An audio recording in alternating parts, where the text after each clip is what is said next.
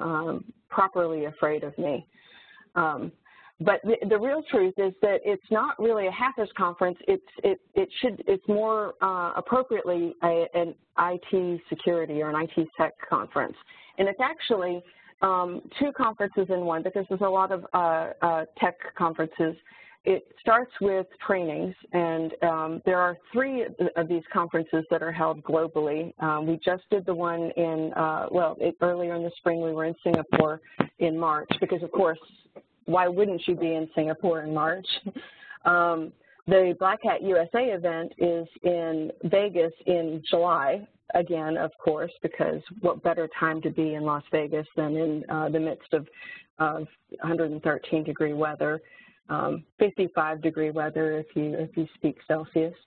Um, and then the third event of the year it will be in um, in London this year for EMEA, and uh, and of course that will be in, in December. So we just so you know, the Black Hat uh, planners uh, take weather into account, of course. But the first, so for, for all of these events, the first uh, two to four days, it uh, involves uh, just training sessions, and then the second, the second part of the show is um, briefing sessions, and then, of course, the business hall.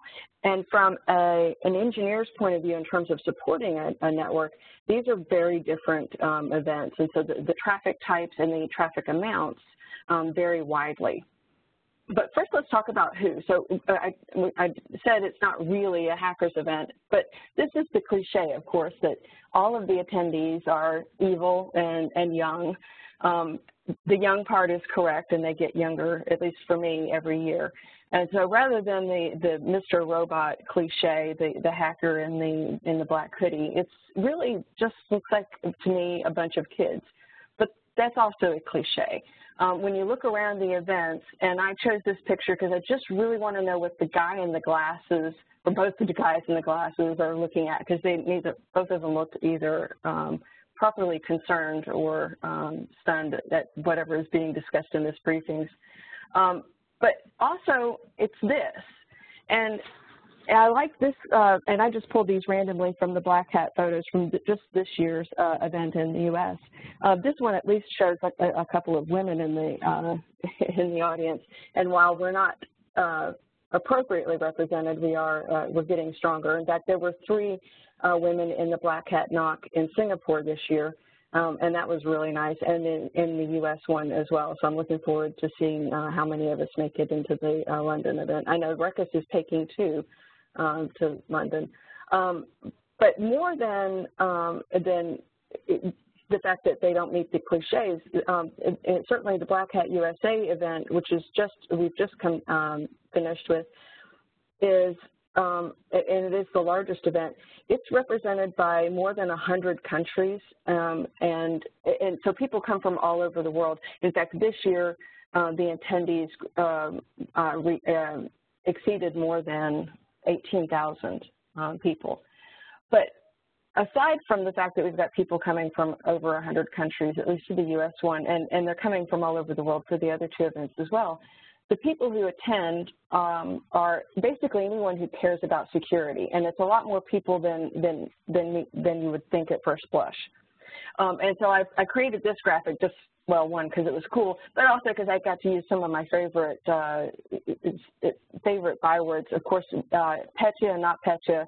Um, just this year and Stuxnet um, in the last couple of years have been huge. We've gone from well, worrying about malware to the new uh, phrase, uh, the wipers, which was what we saw with uh, with NotPetya. But also hidden here in, the, in, in my little uh, black hat graphic, um, I have Swift on security. So if any of you guys are active on Twitter and at all in, interested in uh, InfoSec going forward, um, she, her, and her she, her, her avatar is Taylor Swift, and she's probably one of the single smartest people um, in in the InfoSec side. So if you're if you're at all interested uh, in, in uh, following any of this or just getting at the uh, speed, um, I I do uh, encourage you to follow Swift on Security.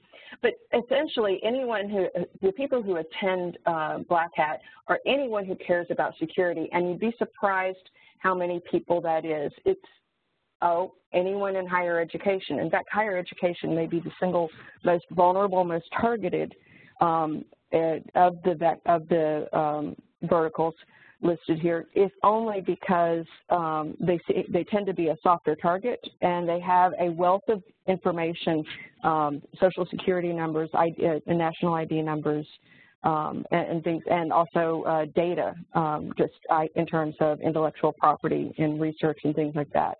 Uh, but also hospitality, MDUs, K through 12. The, uh, obviously, the public venues have to be concerned about it, all the way down to um, uh, the the uh, the federal um, um, component. So this is not just the FBI and CIA, but it's the um, all of the other nationalities um, involved too. And the um, FBI every year has a booth at the uh, at Black Hat, and it is the single most crowded um, booth. Um, and so, uh, it, because just people are interested in talking to them and, and probably interested in getting jobs. But it, so the people who are attending Black Hat are representatives of all of these verticals, and it's not a it's not a uh, a coincidence that this is a the same list of verticals if you go to the RUCKUS uh, website. These are our key verticals. Walking through the uh, hallways, walking through the training rooms, through the sessions, through the um, through the business hall, I ran into uh, CIOs, CEOs, um, IT directors, um, uh, InfoSec um, experts from every single one of these verticals, and they were all there to to learn more about how to to um, secure. They they're, they're from that vertical, or they were um, customer they were VARs that service those customers. Um, and as they walk through them, um, this is what they see. They see that the signage is here everywhere, and so this is a big thing for us because you don't think of Ruckus um, when you think necessarily of of, of InfoSec or for a secure network. Do you think of uh, Ruckus when you think of the best Wi-Fi? Absolutely. Do you think of uh, Ruckus when you think of the best networking? Because now we have the ICX switches? Absolutely. But um, the idea of us being there at Black Hat is a little bit, I, I get a few head, uh, heads cocked at me and, and asking what it is and what's our story and why we're there. And that's one of the reasons that we're here. So um, this year, 18,000 people um, were uh, walking around the Mandalay Bay Convention Center, and um, absolutely everywhere they went, they were seeing signs like this. So the word is getting out that we're there. In addition to uh, 18,000 people from more than 100 um, countries, there are uh, more than 300 different media outlets that are represented. And by the way, this uh, right side of the slide is not there just, uh, this is not an ego thing. This is actually there uh, to let you know that we were, uh, we were pushing the story. We uh, had a number of people come by and interview me. But the more important thing is that no matter how successful you are um, in life, no matter um, how good you get at what you're doing, you, um, there's a reason that God gave you teenage daughters. And for me, it was so that I could send out a link to my interview and my children could say, wow, you sounded so smart, but oh my goodness, you look so old. You look just like your mother. so um, that's there's always a way to to uh, you know bring you back down to earth.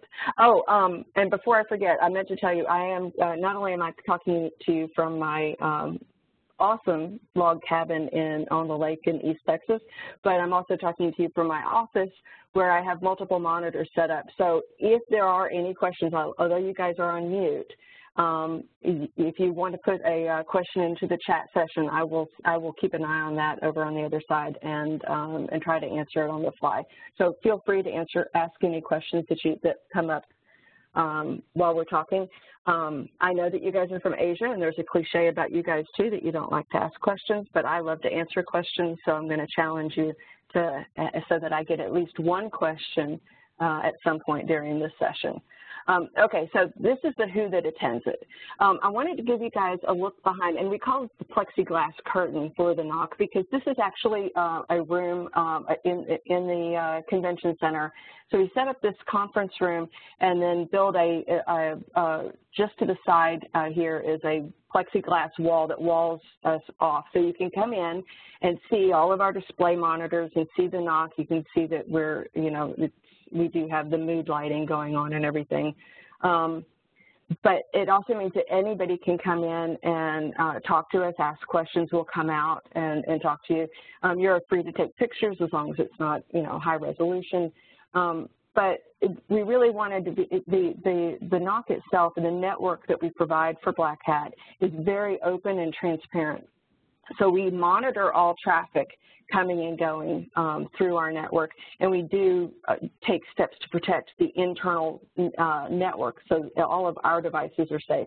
But anything that's going out is not necessary. We, we, don't do anything to that.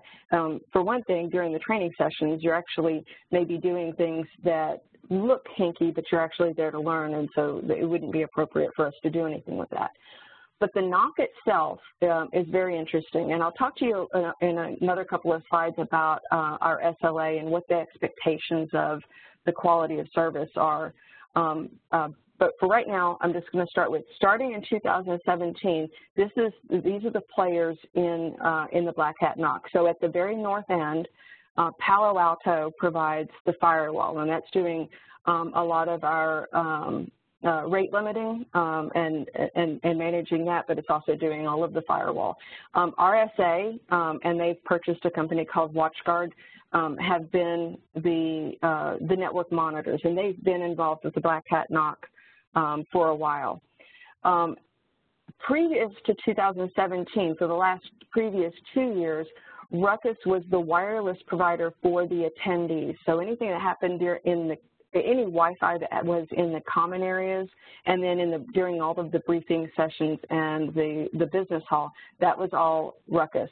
Um, previously, there was another vendor that did the just the the Wi-Fi um, for um, for the training session, so it was a little bit weird. Uh, in fact, it was almost a little psychotic because you had and uh, you had the house infrastructure Wi-Fi, then you had the other vendors trainings Wi-Fi for the first four days, they would pull theirs down, and my Wi-Fi would be in most of the areas, but then we had another, uh, at least half of the area that we had to cover um, overnight that we had to roll out. So it was a little bit of a marathon um, uh, of an event in terms of, of, getting things deployed. Starting in 2017, that vendor, Um, and I will not name names just because I'm, I'm Southern and so I'm polite, but the other vendor was fired from being involved with Black Hat. And so from anything south of the firewall, because RSA is just there for monitoring, but all of the network services south of the firewall are Ruckus, Ruckus branded. So all of my Wi-Fi ran across Ruckus ICX switches, um, and all of the traffic was either carried uh, on the wired or the wireless side with the with the Ruckus access points. Um, this year I used SmartZones um, two in a, in a, uh, in a cluster, so we had active-active um, uh, for that. We had, um, for the first time ever, I got almost all of the access points that I designed for um, deployed. We've had some challenges in the past uh, for a couple of reasons. Uh, network resources were um, strapped a little thin because of some of the shenanigans of that other vendor that I won't name. I will say that they are the Fisher Price of network switches, though, and so we, because they had so many stability problems, um, we had trouble just getting our, our, access points out. But the other challenge, and this is not an uncommon event, at least in at least in Vegas and in some other areas, the ho hotel infrastructure, the convention center infrastructure, is phenomenally bad. Um, I'm, I can tell you um, that every year I go in, I pull up the floorboards, and every jack that was broken last year is still broken, and maybe some new ones are too. So it's a little bit of a challenge uh, sometimes to get um, ports to come up. Uh, and it's just, we're talking about just between the, the wall plate and the um, and the switch port back in the, in the IDF in the in the closet um, can be a little bit challenging. Um, but in it, so in addition to the SmartZone and then uh, the uh, port security that we ran um, in, on across the ICXs, and by the way, this means that I had switch um, SEs, uh, switch engineers um, on, from, from Ruckus, had to go in and deploy across the three floors of the Mandalay Bay Convention Center um, into uh, more than 30 closets, including the MDF, which is down in the basement. Um, we also wired the registration area um, because we used 802.1x um, security on the registration because obviously that's where the money is going through, and we wanted to be very careful with that. In addition to that, that um, and this is one of the really nice things about working for Ruckus because not only do we bring world-class Wi-Fi, and I've had just um, a really, um, I, have been put in some challenging positions and, and, and my uh, access points have never failed me. Um, but in addition to bringing all of that to the table, when it's appropriate, we also go out and find the best partners. And for us and for Black Hat, that means RGNet. Um, and this is a company that uh, creates a, um, a, device, and they sit between me, uh, between uh, the LAN and the LAN. In addition to being my, uh, uh, every server that I need, the DHCP, the uh, DNS, all of that, um, they're also giving me per device VLANing. And so this is what gives us some of the, the security that it has led us, and I'm going to say this out loud. I would appreciate it very much if you do not repeat it out loud, uh, just because I don't need any more of a target on my back. Um, but this is our third year, our fourth uh, Black Hat altogether so far, completely unhacked um, and RGNets can definitely take a bow of that. And I'm going to talk a little bit more about their solution and how they have implemented that. Um, I just I wanted to put this uh, sign in. So this is a sign that sat right outside the NOC, uh, NOC office. So when you were coming in um, to do a tour of the NOC, this is what you would see. And I just wanted to point out how much Black Hat and UBM, the, the uh, parent company for Black Hat, loves Ruckus. Um, the the the NOC team is there is no such thing as pay for play. These guys um, are 100%, um, they, they go with strictly best in class. In fact, I will go you one a little bit further. The other, the Fisher Price company uh, came out with a checkbook in order to try to get keep their place, and that was just something that they weren't going to do. Um, and so it, it is 100% um, best in class. So they went with Palo Alto because there's no doubt about it. They make a, a very good uh, firewall. But both Palo Alto and RSA have been platinum sponsors for Black Hat for years because obviously this is, you know, sort of their thing. Um, pays absolutely nothing. We don't sponsor anything, and they stuck us at the top of that sign, and that was um, I just thought that was pretty funny. They go out of their way to, to every year to uh, let us know how much they really uh, love us. So let's talk about how I got started with uh, Black Hat because uh, again, it's one of those head scratchers. It's not the kind of thing that you know normally you would think about uh, with being synonymous with uh, Ruckus. In fact, if you were going to think of any Wi-Fi um, vendor, um, aside from Cisco, because you got to always think of Cisco because they're the 800-pound gorilla, right? Uh, but if you're thinking of a Wi-Fi company and security, the one that has sort of positioned itself front and center as being the security Wi-Fi company um, is Aruba. Um, and in fact, they were a vendor um, more than three years uh, in, uh, in, in 2014. Um, they were the Wi-Fi vendor. They did not return in 2015. Um, and if you buy me a beer sometime, I'll tell you exactly why. Um, they, uh, they there's uh, components to their solution that does not um, does not go over well with um, with this kind of uh, audience, and it's where uh, RGNet allows us to come in with the same kind of security, but more or less in stealth mode, and so it was it, it allowed us to get in there. Um, in 2015, I had uh, run the Wi-Fi at uh, for Interop, also at the Mandalay Bay um, in, in Vegas because I think the Mandalay Bay in Vegas is like my own version of, it's my circle of hell from Dante. Uh, I wake up and I think, oh, wow, I'm back here. It's the Dante Circle of Hell meets Groundhog Day. So if any of you guys have ever been to Vegas and you really like it, I apologize. It's not my favorite place. Um, but when I first started with with uh, uh, uh, Black Hat, they uh, the interop guys had uh, basically um, come back to UBM and, and let them know uh, how we had overperformed and, and overmet any of their expectations. And so when Black Hat needed uh, a Wi-Fi vendor, they came they came to us. Um, the SLA or their expectations at that point were one, Wi-Fi is a nice to have. We told that we told the attendees, we've been telling the attendees, there's going to be Wi-Fi. Um, we'd really like to give them Wi-Fi since it's on the signs. We've told them that it's going to be there. Um, the first imperative is don't get hacked. Well, I thought that was a no-brainer, but it turns out to be that's not, not as easy as it sounds. Um, their interpretation of an awesome Wi-Fi environment was that people weren't complaining about it. That was it. They, um, if, if, people don't, don't complain about it and we actually have some Wi-Fi somewhere, then that's pretty good. Um, the deployment itself, as I had mentioned, was difficult because um, the the NOC gets built out, say on Thursday. It goes. It's supposed to. The network is supposed to go live on Friday night. Uh, registration starts Friday. So classes start Saturday and they run Saturday, Sunday, Monday, Tuesday with either two two-day classes or one four-day class. And then Tuesday night, all of the trainings end at 6 p.m. and everything gets, all of the training rooms, and there's about 70 of them, get switched over and become um, briefings rooms.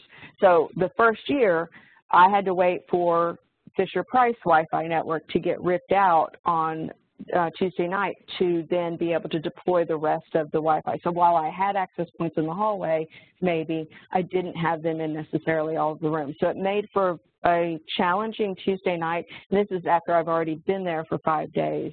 Uh, monitoring and managing the uh, the other part of the network. So it was it was sort of a grueling in, environment. And then for the last two days, um, we needed to be providing ubiquitous coverage, so the other network would be gone entirely. Um, and this is the part that is also uh, the one, the thing that surprises people, and certainly it shocks me. Um, you, are reading that last bullet point correctly. It is a PSK. So while I could argue, while a Wi-Fi engineer would argue with you that a PSK is giving you no security, um, and in fact is taking resources on from the AP, and in a density environment, um, you really don't want that uh, AP being challenged more than it needs to be. So uh, you could make a pretty good argument for why do we have a PSK at all? And the answer is layer 8 because it doesn't look good for a black hat security conference to be have to have an open SSID, even though we all know that the kind of people who are attending it once there's a PSK, you've done the exact same thing. Um, you've just made a, a, little bit of a sport for them, and that's it. Um, but again, that's more of a layer eight problem, and so um, that wasn't uh, something, that wasn't an argument I was going to win. So fast forward three years later, um, in the planning session um, that we started having uh, for um, um, for Black Hat USA, which probably started sometime in uh, April. In the first session, the uh, CEO or the, the general manager of the Black Hat NOC team um, said, and we're going to go all wireless. So in three short years, and really two short years, the Black Hat NOC team went from Wi-Fi is something that's nice to have to literally the quote was, we don't need wires, we have Ruckus. Now, the Ruckus Wi-Fi engineer on the call was not thrilled with that statement because there's no Wi-Fi engineer in the world that's going to tell you that Wi-Fi is better than wired. It's, uh, it's, we're never going to be better than wired. Um, and anything that we can put on the wire, logistically, that, that's where it should go. But the decision was made um, that where we didn't, unless we absolutely had to have wires, so the registration area, we decided to do uh, port authentication. Um, so that part was wired. And then there were a couple of training classes that physically could not use wireless. So there's the SCADA classes, the classes on uh, that have to do with how to secure your um, electric uh, company, your uh, electric grid, your power, your water grid, your power grid, all of that. Um, some of those devices are, uh, thank goodness, do not have Wi-Fi um, on them at all. Um, so they, we still didn't want to get hacked, but now we're, we're having to provide not just wireless everywhere from the first day, but we're providing wireless everywhere for even the, the training classes, and those training classes push some incredible amount of data, and we'll see that in just a second. Um, the we went from it's nice to have and gee if no one complains about it that means it's awesome to now everything's relying on the wireless or almost everything's relying on the wireless. And so this network has to be five by five with five nines. The reason why I, I was able to pull this off and was not as sweating as badly as maybe I should have been is the last three bullets. First of all, we owned the network. All of my Wi-Fi, and by the way, in 2016, all of my Wi-Fi ran across uh, Brocade ICX switches as well because I learned my lesson the first year um, because the Fisher Price switches kept going down um, and it made my Wi-Fi look bad. So the second year I brought um, I bro Brocade SEs and, and the Brocade switches. Um, this year we actually had the, the new Ruckus branded ICX switches, but we owned everything until the, the uh, until we hit at the north end in the uh, in the MDF the Palo Alto um, uh, firewall, and then that fed directly into two one gig links from CenturyLink, and we'll talk more about that because that's interesting too. But so we owned the network, everything wireless, everything wired was us. Um, and also because we had ubiquitous coverage from, and I said zero day, and I use that on, and I, yes, I know that's a, a InfoSec term, but I use that um, on purpose because we actually got our network up um, hours ahead of schedule. I mean, like way ahead of, almost a half a day ahead of schedule because um, it turns out it doesn't need, you don't need 20 network engineers if you have two that know what they're doing. Um, and so we were able to get the, the network up and running that quickly. But also, once again, we brought RGNets to the table. And this is really nice because um, I, I finally get to say something nice about captive portals while also demonstrating why you bring a Wi-Fi engineer um, to a Wi-Fi network. And the reason is because anybody who's ever stayed in a hotel knows that captive portals need to die a deep, fiery death. We hate them. They don't. They either don't load. Um, you, you fight them. They don't. They don't work on this browser or that browser. Um, and RGNet did something that was really rather clever, and they're not a very large company, and they're very nimble, so they were able to work on this and, and, and get this up and working. Um, but the fact that they even had the idea was really uh, cool. So let me start with, in the previous years, the way the uh, Wi-Fi was handled by uh, for the training sessions. And remember I told you there's like maybe 70 or 80 training classes going on at any given time. Um, and the Fisher-Price company that did not have a Wi-Fi engineer on staff determined that since every classroom, all 70 classrooms, each of them have to be on their own VLAN because you want, for security reasons, you want all of these guys in each classroom. Classroom A needs to be able to talk to everybody in the classroom probably. But we also want to make sure that they're not talking to anybody in classroom B because let's face it, they're at a InfoSec, you know, a hackers conference. Shenanigans are going to happen, and, and they do. Especially at Black Hat USA, it is the wild, wild west. These people don't play nicely with each other because they're there. It's their sandbox. They're there to, to play and learn. Um, so we, they, they wanted each training classroom to be on its own VLAN. So Fisher Price decided that the way to handle that was to put an access point in every single classroom. And as much as Ruckus grimaces and makes faces over putting a single access point in every single school classroom or university classroom, just imagine doing this in a training classroom at a convention center because these walls are not made out of cinder block or brick. They are made out of paper mache. These are just the air gap, you know, pretend walls that they uh, fold in and fold out when uh, they need to change up the, um, the, the structure of the, of the room. So there's no um, RF attenuation going on. So now they've got not just the Cisco microcells that are the hotel infrastructure, the, uh, the convention center infrastructure at the Mandalay Bay. Now they've also stuck their what turns out to be really crappy um, radios, their access points, but they're doing seven, they're doing one in each classroom, and each classroom is broadcasting its own SSID. So I can't think of a way they could have made this worse except for that sometimes they stuck the access points in the floorboards, in the you know the steel metal Faraday cages where the um, the electric plugs are. And I know you guys think I'm making this up, but I, am honest to goodness, uh, I'm not. They couldn't have done a better job of making me look good um, in comparison. So they're broadcasting an SSID for every classroom. Each SSID has its own VLAN. They've got access points in every single classroom. The RF environment is virtually unusable. And I know that because I've, I, I would do over-the-air scanning. I would do some cap packet captures and look to see what was going on. And it was an absolute nightmare. I can also now completely vouch for the fact that uh, RF and Wi-Fi poses no health risks because if so, 18,000 men would not be having children um, after having been what, uh, through what uh, the Fisher Price uh, people had put them through. So here's what we did. We, we, once all of that mess was gone, and this year we owned the the network. We said let's let's put the access points where they belong. We're going to put them where they belong in terms of coverage, in terms of density, and that's certainly not one in every classroom. So without regard to which classroom was which, we, we I designed because I, am now, heaven help me, very familiar with the layout of the Mandalay Bay Convention Center. So I can almost go in blindfolded and, and lay out the access points. Um, but uh, once we got that done, um, we turned to our RGNet, and they, they had the brilliant idea. So they created a captive portal.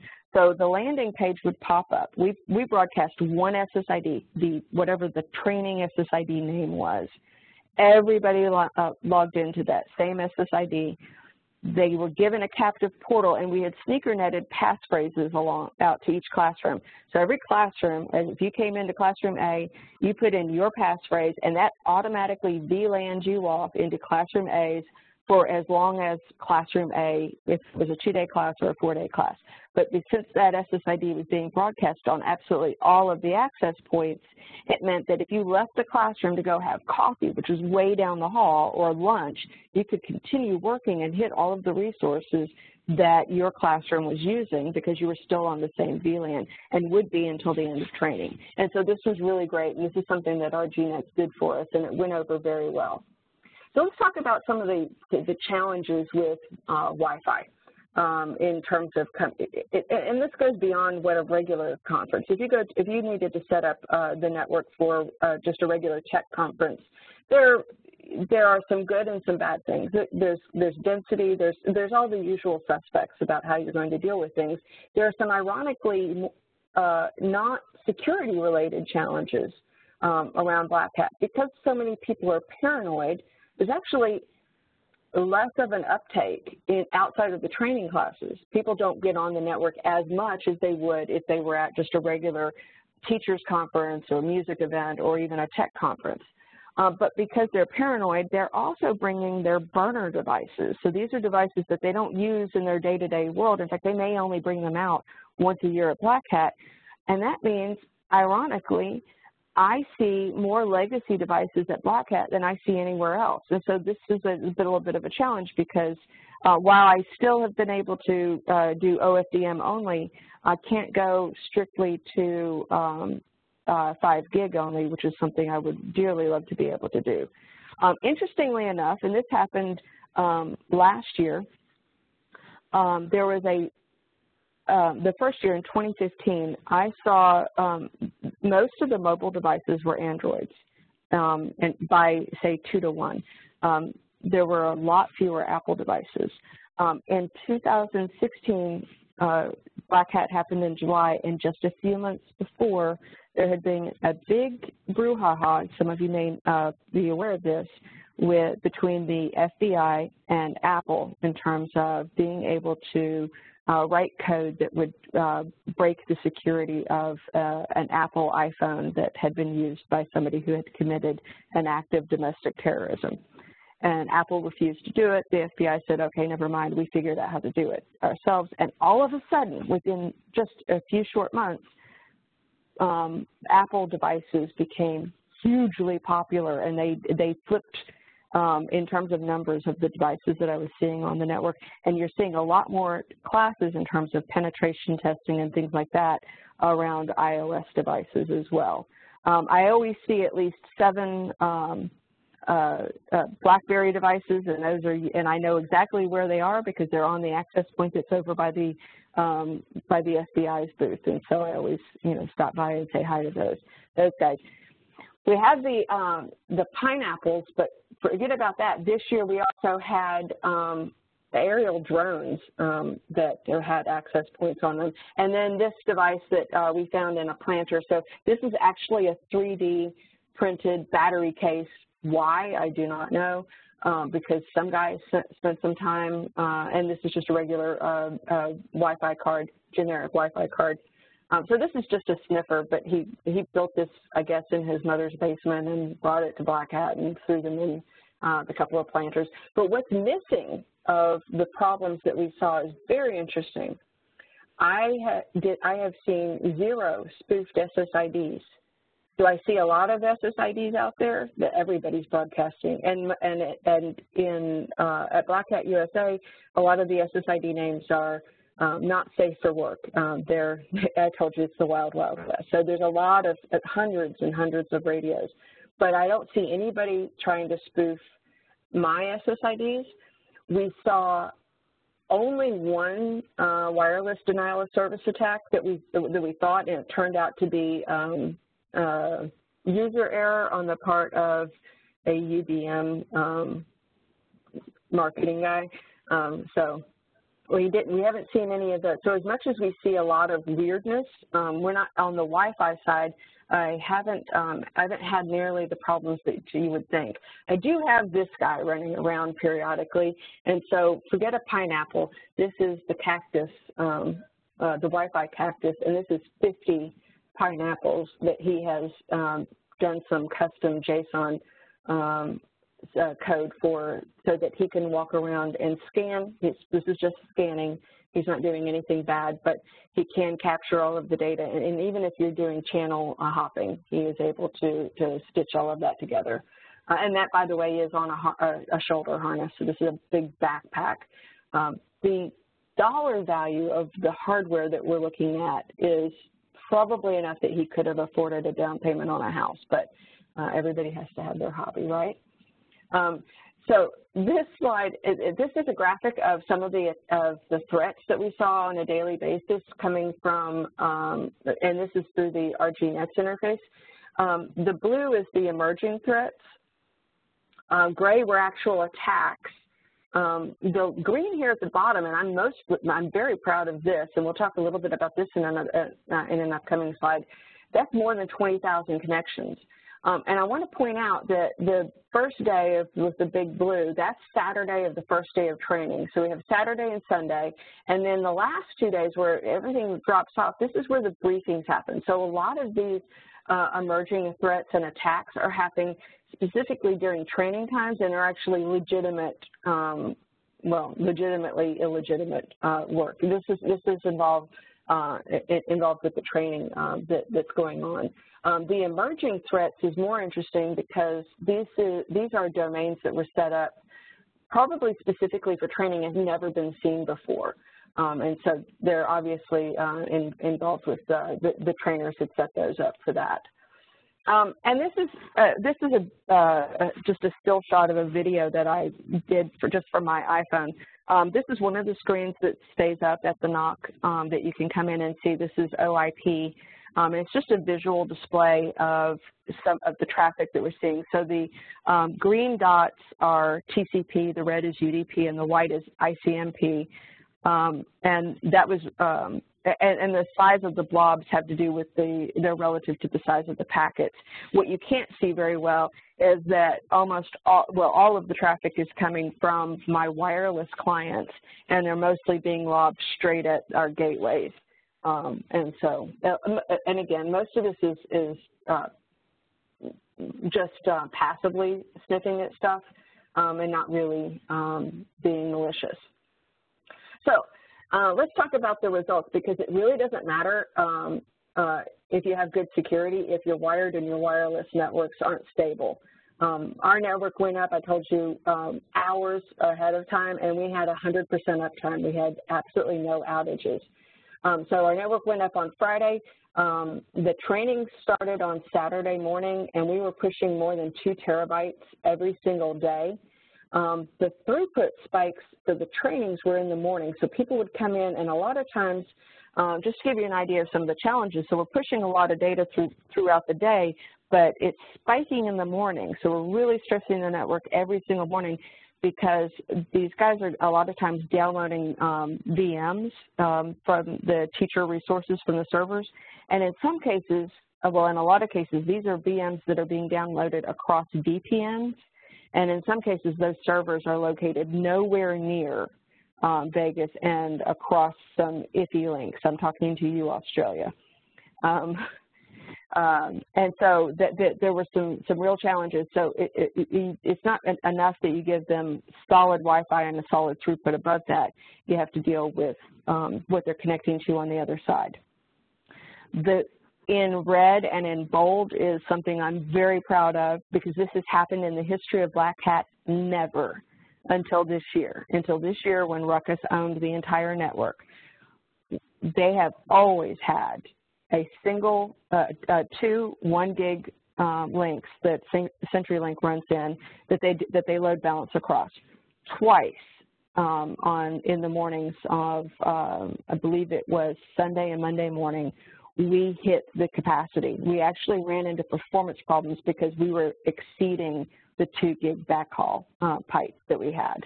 Um, and so because of that, Black Hat is actually um, going to be switching to a 10 gig uh, backhaul for next year. And the truth is they've never hit that um, cap before, not because the demand wasn't there, because we all know if you give them the uh, bandwidth, they will use it. Um, it's because the network was never stable. In fact, last year on uh, Sunday night, the Fisher-Price Company did a firmware upgrade, something that all of us should just go weak in the knees at the idea of doing in the middle of a conference. It did not go well, and they did a firmware rollback Monday morning just as classes were starting. And you can imagine if classes are starting and you're expecting to push two terabytes that day, and the network is has rolling outages for the first four hours of morning, um, just how badly things were going. In fact, I can guarantee, I can tell you quite honestly, there was vodka involved by 3 o'clock in the afternoon. Not for me, because my stuff was up, but there were some people who were having some trouble uh, dealing with reality that day.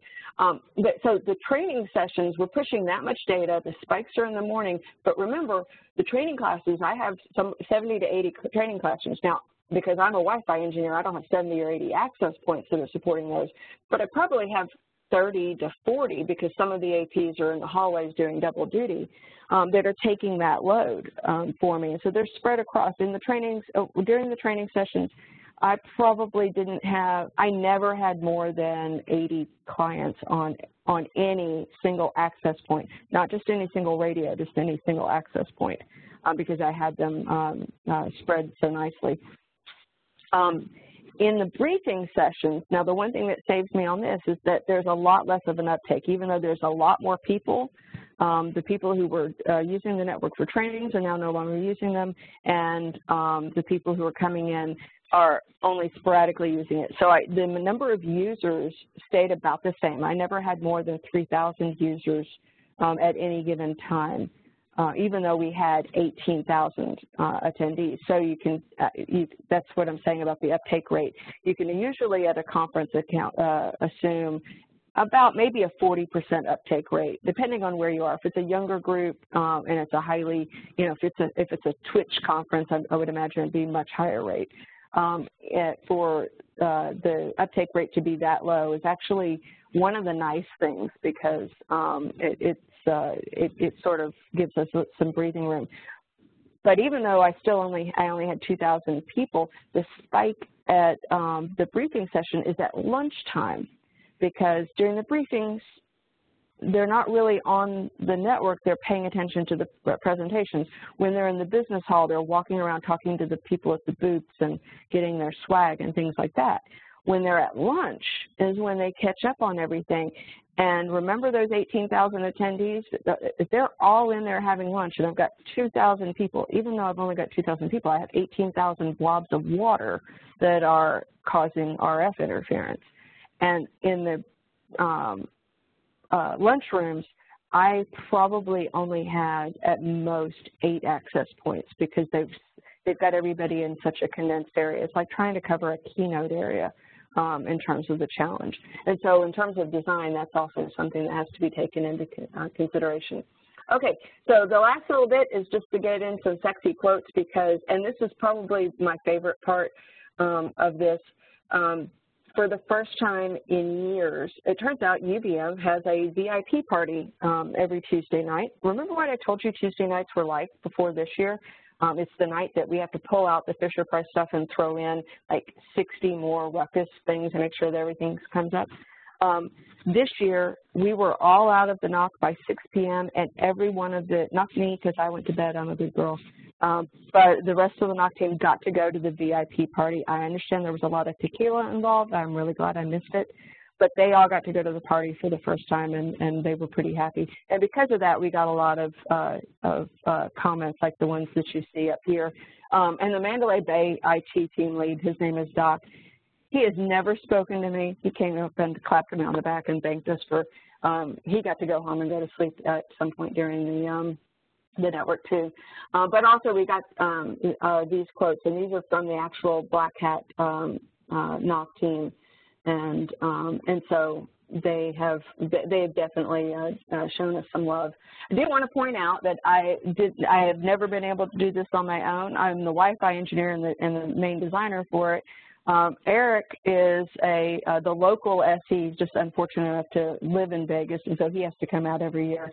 And then Jason and Matt are both SEs from the professional services team um, from uh, uh, actually both coasts, and so they came out to Vegas and um, and switched out and and uh, and helped me out. Uh, we'll be in um, in London, um, and that's a much smaller show, so it'll it'll be me and uh, Simona from our TME team. And if you guys have seen the recent bake-off that we uh, gave out with the performance of the R610 um, in comparison to oh everyone else who fell down as soon as you put video across the AP. Um, she is the team lead for um, the the director for that team, um, and um, and so she's going to be in London. Um, if any of you guys want to come out to um, see us in Singapore next year, we will be there in March and I'd be happy to see you. And with that, I have actually powered through, maybe I had a little too much caffeine. Um, I have powered through my hour presentation in 48 minutes, leaving plenty of time for anybody who wants to ask me any questions. Uh, not to put the pressure on you, but yes, there's the pressure.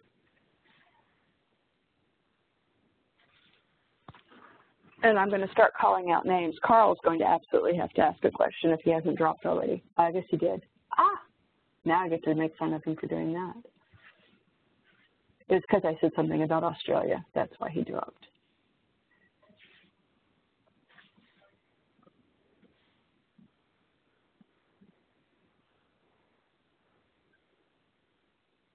And Zoe, are you seeing any questions? Uh, not seems not. They are all good. I didn't see any. Okay. Questions. I didn't expect any. I, I, you know what? It's because it's morning for you guys. You needed to have some extra, an extra cup of tea or a cup of coffee. And the ideas are relatively new to the audience, I believe. Yeah, it's the first time we hear about it for the partners. Oh yeah, yeah. So we, we may have to do it again, huh? I always like to hear uh, something yeah. two, two, or three times. Yeah, I just saw some well, feedbacks. Uh, thanks. We don't have questions and great sharing. This is uh, okay. Yeah, what I saw Q and A. Yep. So with this, uh, maybe we can um, wrap it up, and then we appreciate for any questions after um, the call, and feel free to send us email, and we'll be sharing the recording and the deck Right. Yes, I'll get the, I'll get the deck out. Um, I I will be uh, writing a blog um, about this uh, coming up. I just frankly haven't had uh, any time. Um, if you uh, guys may have known uh, noticed, we had a little bit of weather problems out here in the U.S. And so I've been uh, working with a group, Ruckus has been uh, instrumental in uh, working with a group that goes in, uh, IT professionals go in and rebuild networks for schools and communities and also disaster relief centers. And so we've been uh, a little distracted by that. But I'll be doing the uh, a blog for that. And as well, if anybody has any questions you just want to ask me offline, um, everybody at Ruckus is first.last name at ruckuswireless.com. You can email me. I am heather.williams at ruckuswireless.com. And in fact, if you're still online, I'm going to go ahead and just enter that into, into the chat session so that you have that. I have had people who just did, really didn't want to ask a question um, during the session or didn't think about it until right after I hung up. um, and I'm very happy to um, answer questions at any time. Okay, thank you very much, Heather, and thank you for everyone to join the Uh-huh. webinar. Okay, I'll see you guys next time Thanks, in guys. the next webinar. Thank you. Okay. Bye-bye. Bye-bye.